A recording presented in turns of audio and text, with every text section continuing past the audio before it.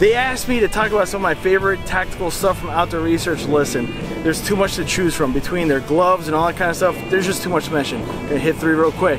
Hat, gaiters, and gloves. Stuff that I think you use all year round. If it's snowing, keep the snow off your dome, use one of these hats. If it's raining, if it's sunny, it's gonna keep all the elements out of your face. Gaiters, same thing for your feet and for your legs. You're going for a hike, cleaning snow, whatever it is, pop one of these bad boys on and you're good to go. And then of course, as always, you've heard me talk about gloves. These are awesome.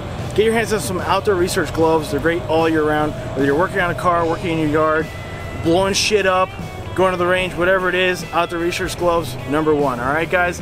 Let us know what outdoor research products you guys love. Make sure you pick some up in our shop. Stay safe. See you guys soon. Have a good one.